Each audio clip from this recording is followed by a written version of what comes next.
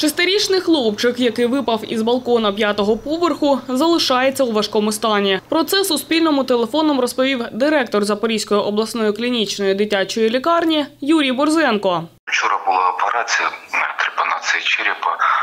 Стан на сьогодні дитини важкий, знаходиться в відділенні реанімації на штучній вентиляції легенів. Медикаменти є в лікарні, допомоги не потрібно. Спрогнозувати зараз неможливо, бо стан е, дійсно дуже важкий.